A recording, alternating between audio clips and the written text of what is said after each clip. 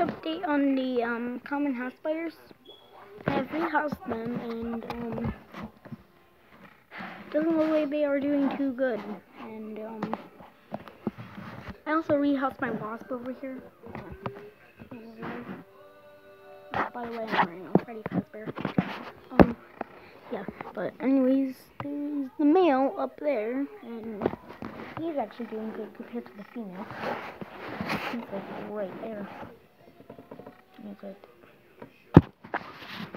And put Vaseline here so that the spiders can't climb up. It seems like the male has figured his way up with his magical skills. And out of cage right here. And, see, I got a lot of stuff for Christmas. I'm getting a toy. And Chica. And the wasp is also doing very good compared to all his other friends in cages. Now, now you can see him clearly. He is so dark.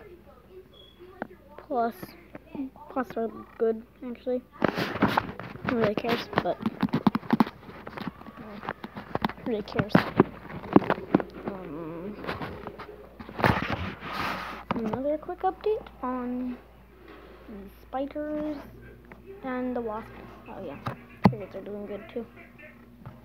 And um, quick update also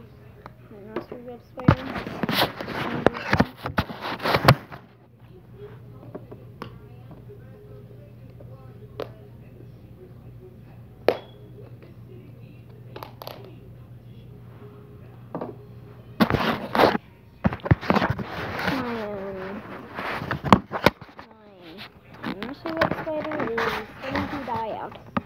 As you can see, his legs are getting a little touching. See? Can't get up anymore.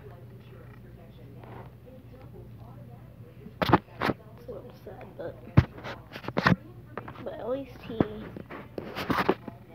got his life over summer. I'm just gonna leave him alone since like he's doing too good. And I expect him to be dead by next week, but I'm not sure about that. But anyways, this was a quick update on my spiders and and every other bug I have. The are also doing good. so I'll see you in the next video. Bye bye.